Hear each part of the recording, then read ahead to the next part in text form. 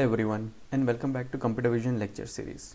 In this lecture we are going to talk about corner detection. We will start from feature uh, points and then we move on to see how corner is a, a very good example of a feature point. So let's go ahead. Um, we are going to talk about different, we are going to discuss different properties of um, uh, good interest points and Harris detect Harris corner, corners. Uh, we will also look into the mathematical formulation of how uh, Harris corner works, and we are also going to look into invariances and covariance of uh, Harris corners. It's important because um, once you know these uh, features of Harris corners, you would know or uh, you will be in a better position to apply Harris corner detection in uh, a given application.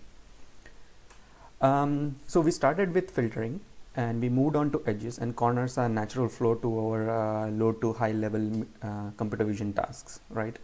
So corners are more distinctive features than edges because edges uh, tend to change in one direction uh, tend to remain constant in one direction whereas corner have more uh, lesser degrees of freedom and therefore they bring out um, a distinctive property uh, or they have a distinctive characteristic that they are more unique uh, as compared to edges. So feature points are also called um, corner is one of the feature points. Uh, it's also called uh, interest key po interest points, key points. Um, basically, we, these are all considered as lo local features. Um, so, what are the main components of local features? Um, they should be uh, we should find a distinctive um, set of uh, key points. Uh, the first step is detection of these features uh, then how to describe them in a in a vector form in a compact vector form. So once you de de uh, detect the features you need to know how to represent them into a, either a matrix or a vector form in your machine or in the algorithm. Uh, this is one example given here. And then at the end you match those features across images to find uh, different correspondences. Uh, what could be the applications of this feature point detection so when you uh, think about it. In image alignment for example uh, a panorama stitching is uh, a direct application of feature points because um, in panorama the successive images are changing slightly and you want to match uh, a lot of uh, um, lot of features which are uh, which are common in these slightly changing images. And you want to align them and that's where feature descriptors or feature points come into play um, in Panorama, you also need uh, some blending techniques uh, because there is ch uh, some changing uh, brightness. So you know your um, feature points uh, should be robust to noise, uh, specifically um, photometric transformations like illumination in this case of Panorama. To be robust, your feature point detect detector should be robust to this thing so that you are able to stitch well.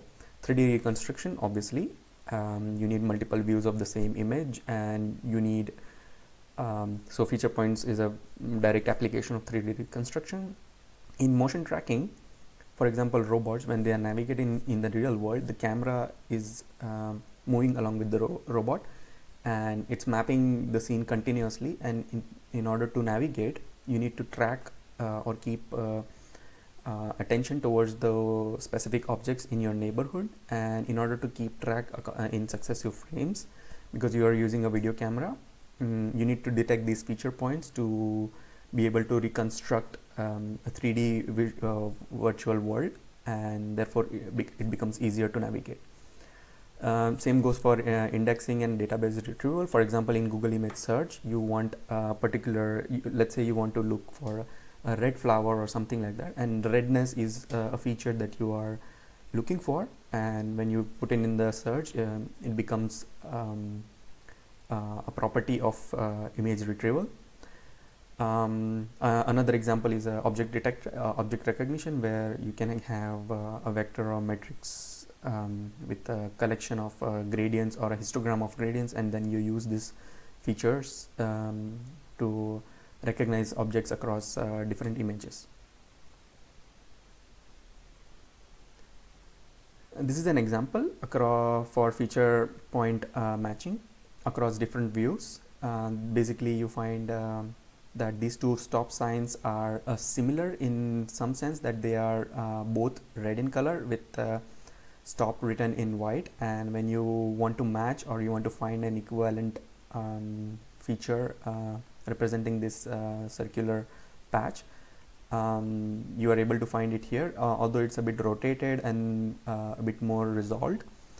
Um, however feature point um, detection helps in um, finding similar features across different uh, or similar looking images as well. Um, uh, a basic template matching of uh, this feature will not give a good result because uh, you need robust feature alignment across uh, across different views. So as we discussed uh, earlier doing when we, we were talking about um, correlation that one of one of the application of correlation is image matching or template matching. here correlation um, will not be so useful because it's not so robust across different views. Another example is um, estimating uh, fundamental matrix between two views. Fundamental matrix is basically a 3 cross 3 matrix which represents a transformation between two uh, stereo image pairs. Uh, stereo image pairs are, uh, as you already know, and if you don't, are images which are separated slightly uh, or taken from a slightly different angle whereas keeping keeping the same uh, camera centered the same and because of this you are able to generate a shifted version of the image. And uh, if you if uh, so feature point detection will help you uh, uh, you know estimate the fundamental matrix through which you will be able to find out the transformation applied to generate uh, one view from the other. And if you are able to find this transformation basically you will be able to match each and every point in the image um, in, in the pair of images basically another example is a structure of motion which we discussed already in the introduction to computer vision um, this is a, a work uh, called uh, building Rome in a day I highly recommend you to go to their website and check out different um, uh, uh, different um, recreations of or uh, you know reconstruction of different landmarks in in Rome that they have um, created there. It's it's a very good interesting video where you go they take you in a 3D world of point clouds and these point clouds are basically each point is basically uh, basically represent these different distinct uh, key points that they were able to um, um, recover from all these different um, pool of images. Um, all these images do not have any camera um, calibration properties uh, associated with them. So this reconstruction of um, this Colosseum is purely based on um, feature point matching. And this is a very good um, example of structure from uh, different uh, different um, images here.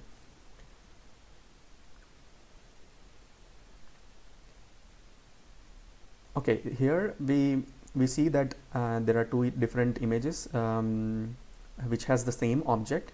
And uh, feature point matching can be achieved if we are able to find um, these key point key point descriptors such that they are invariant and repeated, uh, uh, invariant to local features uh, sorry invariant to geometric transformation.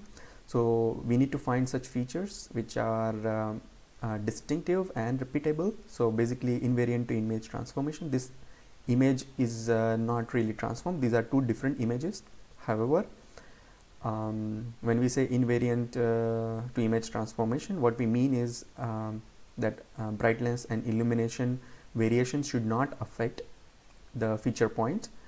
Uh, it should be so distinct that it should be robust to these uh, changes in uh, illumination and brightness. And similarly it applies with geometric variation that if you have a translation right in the or, or a rotation or a scaling the feature points uh, uh, you are still able to recover or generate those distinctive feature points panorama stitching as we discussed before there are certain mm, um, when you calculate feature when you find different uh, key points here uh, in both these images you will be able to combine both these images into one by matching those key points or the features um, feature points across these two uh, images so when you think about it, uh, what could be uh, characteristics of uh, good features. You want such features which are robust, which are invariant to different scaling and transformations and so on and so forth. So here basically we have uh, summarized in terms of um, um, different characteristics, right? So one, the first characteristic that you're looking for is it's repeatable. So in across these two images, you find such um, um, features that can, you can find in both of them, um, irrespective of uh, uh, geometric or photometric transformation, so that you are able to match them across images. Also, uh, saliency is very important for features because each feature has to be very uh, so what do we mean by salient? Salient is something very distinct very different very unique to that particular feature. So we want to find such features which are unique uh, so that because we don't know where we will be matching these features. So if they are unique all of these um, feature points if they are unique then it's easy to match them across uh, different views uh, compactness and efficiency is required in terms of features because always we are going to talk about um, uh, computations and storage of these features in our machines and therefore it makes more sense to have compact and more efficient features. So fewer the number of uh, features um, than number of uh, image pixels is uh, a very um, simplistic uh, example. Another example, uh, another uh, characteristic is a locality. Um, what we mean by this is a feature occupies a relatively small area. It should not be big, too big, or it should not be too small, because uh, if it is too big, then it's difficult to find um, salient or repeatable features.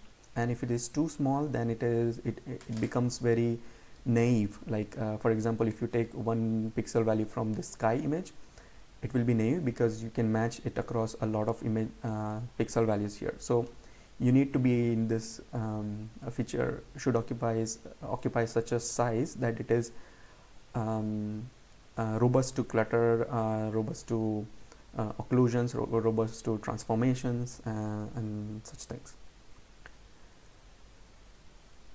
So our goal is to find um, um interest point or feature point which are repeatable. We want to detect at least some of them uh, across uh, images. In this example as we see these uh, on the left image we found four distinct feature points. On the right also uh, we found four. But they are not really uh, repeated uh, here. And therefore this feature point extraction is not useful for us. And there is no um, easy way to find matches. And and therefore we need um, repeatable uh, feature points. Same thing, um, same thing with the descriptor distinct distinctiveness. So the feature descriptors should be very distinct. Uh, what we mean is like, uh, for example, here there is a one feature, and if it is not distinct enough, then it can map to multiple places in the uh, multiple points in the another image we and we don't want that. We want to reliably determine this feature across images and therefore we want it to be very distinct and unique. Um, it should also provide as um, as discussed before invariance to some geometric and photometric differences. So if there are illumination differences or in this case uh, it's a scale the right image is a scaled version of the left image then um, uh, our feature uh, descriptor should be robust enough to be able to be uh, localized in both images so that we can match them easily. So basically um, local features have um, three main components. Uh, basically first you go ahead and detect them, uh, you describe them, you find a way of representing those descriptors and uh, it could be in the form of a vector or in the form of a matrix, it doesn't matter. And then you match across different, uh, ma match these features which are represented in a vector or matrix form across different uh, image views or different images.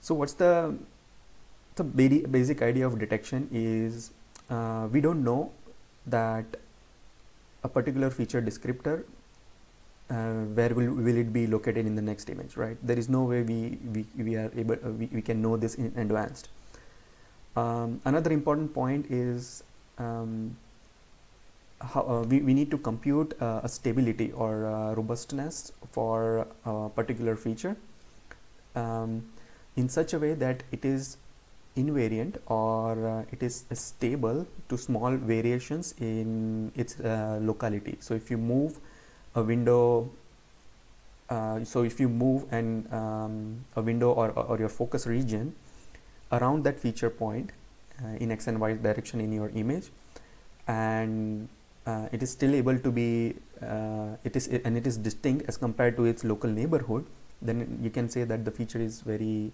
um, stable right? Uh, basically in a looser terms when you have an image patch when you compare the image patch along its neighbors and if it does not match then it's a more unique uh, feature. Uh, for example here if you have um, a feature on the top at the peak here and if you move along uh, different directions you will not find similar features um, easily right? So this image is uh, this feature would be considered a very good local and has a good stability. Whereas a feature in the sky region will if you move around in its neighbor it, it will find a lot of matches in the image itself. And therefore it's not considered to be a very good stable uh, feature. Um, so when you think of it and when you think about this um, stability issue or the stability property corners come, come out to be a very normal or uh, normal uh, cons consequent to this idea. Because let's say you have an edge and if you move along the edge then you are uh, you're easily able to find the same features along the edge right? Uh, whereas in, in case of corners the movement uh, is restricted and it's not easy to find um, same uh, similar features al along the corners and therefore corner becomes a very good feature point and it's important um, that we recognize these characteristics of the features uh, before we go for detection. So yeah, corner detection is the um, natural flow to our discussion. So the question comes, uh, how do we recognize such corners, right? Um, so what are the probable or uh, the pro possible characteristics that we are looking for in this in these corners? So we um, let's say we have a, a, window like this and if we move around in different direction uh, there is no change in intensity or uh, um, feature values uh, if we move around right? So this is basically a flat, a flat region and there is uh, it does not give us much information. So this is not a good uh, feature point here. Um, let's say so before um, before I, um, we go ahead uh, I want to clarify window is just um, a small it could be any window. We are just um, what we mean by window here is we are uh, currently focusing in this region of the image okay uh, to find the features. Uh, in case of edges so let's say if your our window is here and if we move along this edge um, there is no change um, uh, along this edge right? Whereas in case of I'm sorry whereas in case of uh, a corner if you go along in different directions there is a significant change in illumination or in geometry geometry and so on and so forth. And therefore um, corners comes out to be a very good uh, feature uh, descriptor. Um, how do you as we were discussing here how do you um, uh, recognize such corners right? So uh, this was one way of uh, finding that you move around your window along uh, different directions and you see that in case of corners um, um, there is a significant change and then you can say um, it's a corner but it's it's a very rough uh, estimation or uh, approximation. This is just an example but in real world images it would be very very difficult to do this for every image. So we we go back to autocorrelation. Autocorrelation is uh, basically correlation with uh, itself. And what we want to do is we find we want to find autocorrelation of the image along with its uh, shifted value uh, shifted intensity. So uh, you compute the difference uh, the squared difference of this image and its shifted intensity value along a window function. A window window function could be a simple square or a Gaussian. It doesn't really matter it's just a way of uh, focusing in a particular uh, neighborhood. Mm, so this is how um, so this is your image and this is the window of um, for the image with and this is your um, autocorrelation uh, intensity uh, map here. Uh, this is the local um, uh, 0 comma 0 and uh, this is a shifted version of um, so this value is com computed from by, by, shifting the window um, in this direction. Uh, 3 pixels on the in the x direction and 2 pixels in the y direction and you uh, you generate this pixel value of the autocorrelation um, function. Uh, let's uh, see an example here from the natural images. Um, here we see that there are uh, three autocorrelation surfaces here 1 2 and 3 shown both uh, as grayscale images as well as uh, surface plots.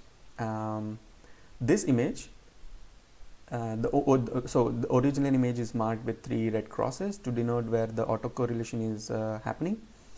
Uh, this patch is taken from um, from the flower here.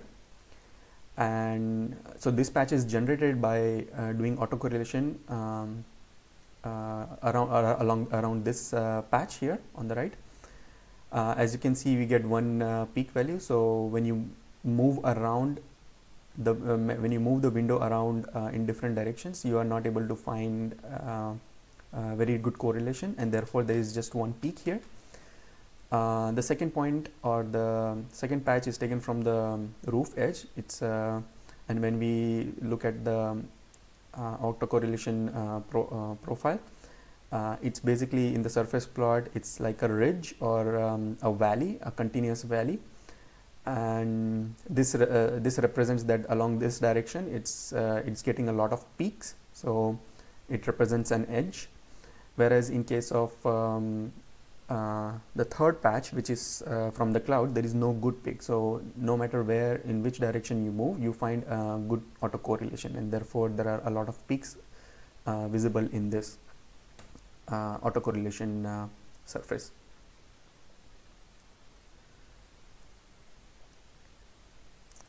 Um, so we want to see how E we want to discover how E behaves for smaller shifts right but this is very slow to compute as you, you would have imagined. Let's say it has a very high computational complexity. If you have a window of width uh, 112 with a shift range of 112 with image width of uh, around 6000 you will have 5.2 billion uh, of this um, um, uh, billion of these uh, computations uh, and that is just for one image and almost uh, 14.6 thousand per pixel in your image. It's it's these are rough estimates but these are too high for um, finding um, key points in a single image. Um, so we want to reduce this. So what do we do here? So we want to imagine how E behaves for smaller ships right? So but we already know in a way uh, the kind of response that uh, we expect in E. We are looking for a strong peak in the center right so whenever we move around in the local uh, neighborhood um, we should not get more peaks around there. So basically this will ensure that uh, the feature that we have selected is unique. So we want uh, a profiles uh, like this.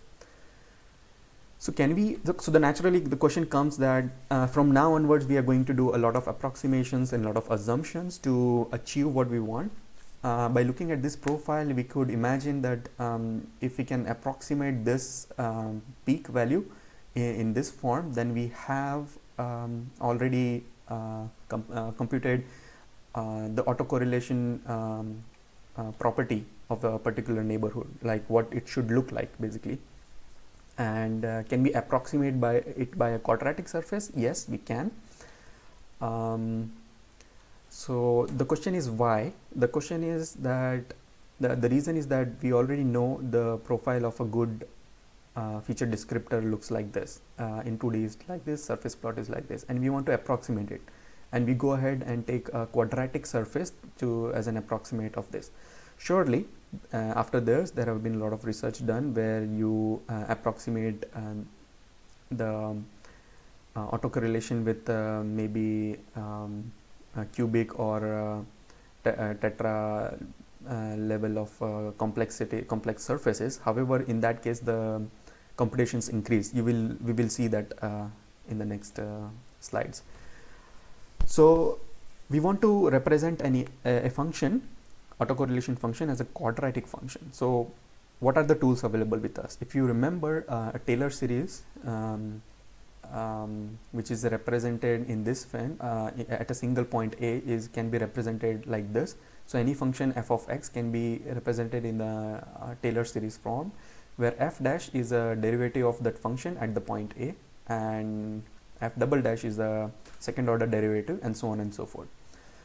Um, as we care about a window which is centered at um, zero point um, if you convert this a equals a to zeros uh, we basically get a Maclaurin series. And uh, on the right is a very good example of uh, an approximation of uh, f of x uh, which uh, exponential function which is centered at 0 through a Taylor series. So basically when you increase the number of um, these terms from 0 to 5 to 3 5 and 6 um, we see how it is able to approximate almost um, very very nicely it's able to fit like uh, at the n, n, n equals to sixth degree of the complexity uh, up to the sixth derivative. So it goes up to the sixth derivative to approximate very nicely. And so uh, an exponential function can be uh, can be represented in a uh, limited or um, limited time um, limited Taylor series up to the sixth um, degree of uh, derivative. So when we um, when we uh, think about um, again when we think back again on the um, autocorrelation function, um, we are just extrapolating our uh, function into up to only second degree of uh, uh, Taylor series expansion. So this is second order Taylor series expansion uh, with which has two functions u and v. And because we are centering the uh, window in 0 comma 0 or we are using 0 comma 0 uh, across all of this and we are neglecting all the higher order terms here higher order derivatives only up to the second order derivative we are considering. Um, we also get rid of um, this function value because it's uh, set to 0 and we also ignore the first uh, derivative um, these are simple approximations that we are making for making our um, analysis um, easier. So we just want to take a look at how uh, the, the shape of this second order the second derivative looks like. So let's uh, look at some math here. Um, when you approximate the autocorrelation function with this uh, second order derivative, it's nothing but um, uh, it looks like this basically. M uh, represents a second moment matrix which can be which is computed of uh, image derivatives directly so uh, basically if you know m uh, you will be able to approximate the autocorrelation function. And the good news is m is a directly computed through image derivatives which we already know or we have already computed. So let's see. M is represented by the uh, is a 2 cross 2 matrix of image derivative. Um, the derivative in x direction looks like this and y is like this and uh, we already know that partial derivatives are uh, commutative so i of x into y is equivalent to i of y into x and therefore this diagonal entries will be uh, same. And you can compute the um, ix squared value um, for uh, the top left and the top bottom uh, um, corners of the matrix M.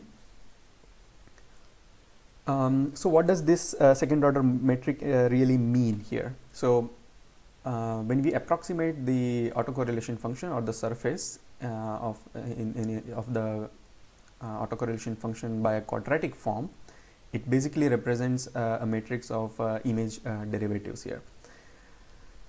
So um, so this ellipse construct here you see a lot of ellipses here along the uh, quadratic function here. Um, basically m represents uh, the equation of, um, of an ellipse. In this case we are saying that each time c is a constant. So if we take a constant value um, it represents uh, one of these uh, contours which has a constant value along when you travel along this uh, contour value. And and so each uh, E is a small matrix that contains values for local autocorrelation of an image. Um, uh, it has a set of values from 0 to maximum uh, difference between uh, one black or one all white patch which is 255 in, in this case. So we can cut E at different uh, values in this set to produce different shapes, right? Um, if you imagine E as a 3D value or a whole shape, the shape at C equals to a particular constant value will be a contour here at a particular altitude okay? Now when we approximate E using the second order um, Taylor approximation we are idealizing the shape that E takes right? Um, so our idealized E is a smooth surface which approximates the this is this is a whole smooth surface which approximates the autocorrelation differences for which the cross sections are ellipses. So these ellipses, each of these ellipses together, they are called um, isolines because um, when you move along these lines, they have a constant value. And uh, so technically E is constructed of a lot of these kind of different ellipses. Okay. So indirectly E is can be characterized by the um, um, characteristic of an ellipse basically from an equation of an ellipse. So here we see that a horizontal slice of E can be represented in this form uh, which is an equation of an ellipse which can be represented in this form. So M is a uh, it's, it's basically a diagonalization technique where you convert M into its um, R as a, is a rotation matrix and lambda 1 and lambda 2 represent uh, the two axes of the ellipse axis lengths and uh, these axis lengths are basically the eigenvalues of uh, the matrix M. So if you know M, you can uh, compute its uh, eigenvalues and that will give you the approximate shape of the autocorrelation matrix. However, we already know um, uh, the, uh, the, the lengths of the ellipses are its eigenvalues and therefore here the shorter length is represented by the maximum lambda value um, raised to the power minus 1 by 2. Similarly, the uh, longer ellipse um, axis is represented by um, lower lambda value. So how do we visualize this, right? Let's uh, let's see an example. This is an image, uh, grayscale image, and this is um, visualization of these all of these moment matrices that were computed along the uh, whole image here you can see that there are a lot of images a lot of ellipses which are uh, quite well aligned with the edges uh, cor and corners more often than in the plane areas in the plane areas they basically vanish but they are very well um, aligned along the edges and uh, near the corners and you see different shapes of these ellipses right as you can see from here okay so we want to characterize or we want to classify some image points using the eigenvalues of um, this each and every small matrices. So let's say if you have sorry uh, each and every small uh, ellipse. So if this ellipse if you know the eigenvalues uh, you can characterize this as a plane point or is it an edge or is it a corner and so on and so forth. So let's let's take a look. So if an ellipse uh, ellipse has um, its eigenvalues large and both are uh, um, quite big it means that uh, it is a corner because um, E will increase in all direction basically we have a peak uh, basically in the autocorrelation and if the um, uh, autocorrelation function has this um, uh, so if the uh, one of the lambda values is uh, quite higher than the other then it can be characterized as edge whereas if both the lambdas are quite small um, it is basically a flat uh, where E is almost constant. More concretely, um, we can find the we can define cornerness of a particular um, autocorrelation value of E by using this uh, function. So we do a multiplication of the eigenvalues and difference uh, take a difference of it with the uh, squared sum of these eigenvalues. Um, this can be uh, again approximated using a determinant and the trace of a matrix. So basically C can be computed by computing the determinant and the trace and determinant is uh, simply the product of all the eigenvalues and trace is the summation of all the eigenvalues right? So if C is uh, bigger than 0 then it's a definite corner. If C is very small then it's considered a flat region. Whereas if C is uh, less than 0 then um, we get different edges. So this could be uh, as a horizontal edge whereas this will be uh, a vertical edge. Um, so what are we achieving here basically by using um, so this is this is uh, the review of um, until now what we discussed for corners was uh, all related to Harris corner detector.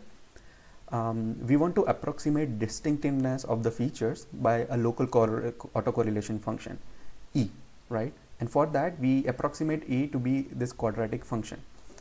And uh, in order to find this local quadratic function um, uh, which we saw that we could approximate it using a moment matrix M. Um, basically, instead of even calculating its um, uh, eigenvalues, we can just find um, the the cornerness uh, of a given feature point using um, the determinant and trace of the M, like we saw here before here.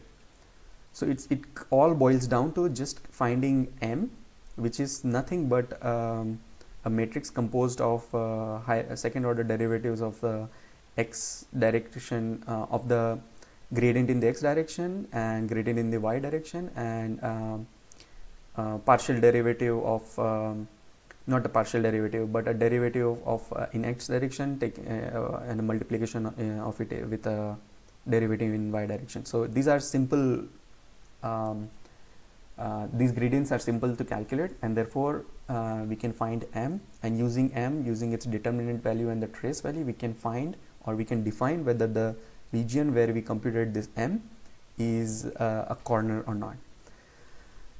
So this brings us to the formal algorithm of the Harris corner detector. Here um, you have the input image. We want to compute m at each pixel value. So we go ahead and we compute the ix and iy along um, we can you can uh, blur it to remove the higher uh, to remove the noises here but um, it's optional. So you compute the gradients in x and y direction and then you uh, take squares of it and then um, do a Gaussian filtering to smooth it out and then you compute the corners of each and every point along the image and yeah basically you threshold C to pick high cornerness. You will get a lot of different corners um, and you need to pick a high enough value of C um, to define it as a corner. Like uh, some of you have already asked this question in the first exercise in the uh, in the forums that when they are taking different thresholds they are able to find different um, uh, feature points. And this is where or this is why you are getting different answers. It's not a wrong answer. It's just different based on uh, what threshold you are calculating. And then you also apply non-maximum suppression to pick peaks. So here we have not discussed so because uh, this sixth point comes in because um, uh, in our case in this algorithm you are taking you are computing m at every pixel value. So every pixel value will have a cornerness value associated with it and you will find and you will define a region nearby on a neighborhood where you will find a non-maximum suppression to find the highest value in that neighborhood.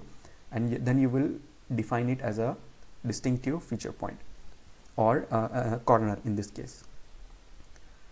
Uh, so let's go through the Harris uh, detector uh, stepwise using an example here. Uh, this is an image and it's a shifted or a different viewpoint of the same image. Um, and this is basically a directly computed directly we computed the corner response of both these images as you can see. And then we take a threshold and then you get rid of most of these uh, corners and you focus on the main um, on the on those uh, points which have high corner responses.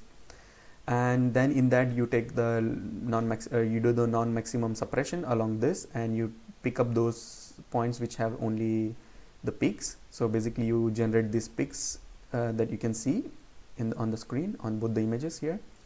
And then um, basically you uh, do the mm, uh, you know use this peaks value and then uh, you know transform them into the original images to uh, localize each and every uh, feature point here.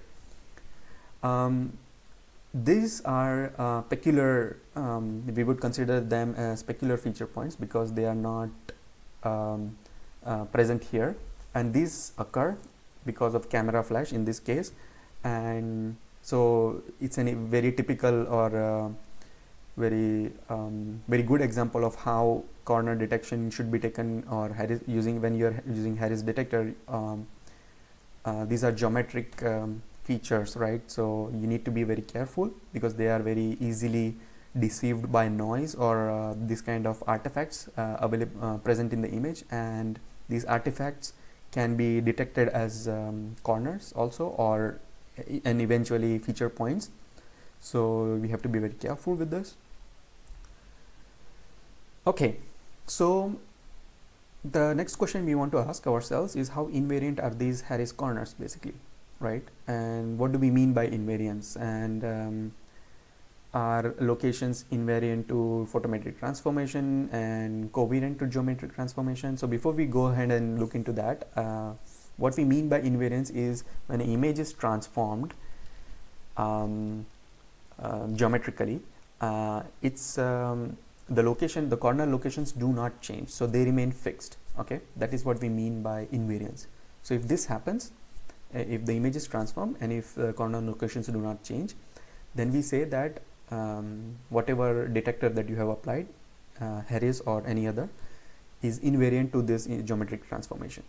And what is covariance? Covariance is basically when you have uh, two transform versions of the same image then the features should be detected in both of the images. All of the uh, feature key points should be present in both the image so let's see uh, let's see some typical examples of this.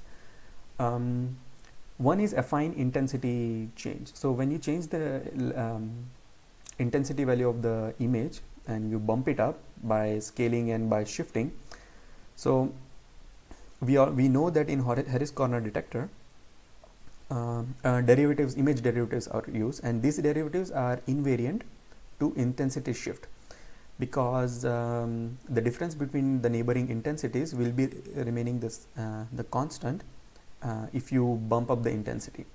So uh, we can say that um, Harris corner detector is invariant to uh, intensity shift. However intensity for uh, for intensity scaling it is not. Because let's say this is the threshold that you used for uh, determining the cornerness of every feature key point and these are the um, axis the image coordinate. And if you and this is the um, uh, intensity uh, axis where you apply this thresholding value. And if you, you if you if you do an affine intensity change you scale the value of the image as well right? And so basically you're shifting all this uh, intensity range uh, a bit higher. And if you still you are using the same threshold you are additionally able to detect extra feature key points and therefore you're not you have more key points in one image than the other one and therefore we uh, um, we, we have to say that uh, Harris corners are partially invariant to affine intensity change. For image translation um, basically they are uh, derivatives and uh, and window function are shift shift invariant so we can directly say that corner location is covariant with respect to translation uh, same goes with the rotation. So if you have if you rotate the image uh, uh, uh the rotation or uh, the rotational information of this um, autocorrelation um, or the moment matrix generated for that feature key point remains the same except that it has a bit different rotation. Um, so basically its eigenvalues remain the same. Also when you think of this eigenvalues are dependent on the image uh, derivatives which again as we saw before are uh, invariant to shifts. So they are also invariant to rotations here in this case. So corner locations are basically covariant with respect to rotations. Um, however with scaling it's not. They are not covariant to scaling because we saw before as well uh, if you scale the um, image so if you zoom in here uh, your window size remains constant. So if you apply the same windows uh, along this if you after scaling the image you're basically uh, uh, your feature point which was a corner before gets converted into or that class they are classified as edges. So basically corner locations are not um, uh, not covariant to scaling. And this brings us um, to the end of our um, fourth lecture uh, second part uh, where we saw so in this uh, two lectures we saw we, we studied edges and corners which are two important uh, feature descriptors. Um, at the end we were discussing about uh, invariantness of this or uh, covariantness of the feature descriptors right? It would be amazing if we are able to get um, such features which are scale invariant right? So natural flow to our next lecture would be to discover this kind of features which are scale invariant. So uh, specifically they are called scale so there is a transformation that you do which is scale invariant feature transforms and then you generate these features which are um, invariant to shifts and uh, and therefore you are able to find this shifts and scales and so you are able to find these features in uh, different scales in different images which is amazing right? Uh, we are going to look at uh, them. We are going to study about them in the next lecture. Um, so See you next time. Thank you.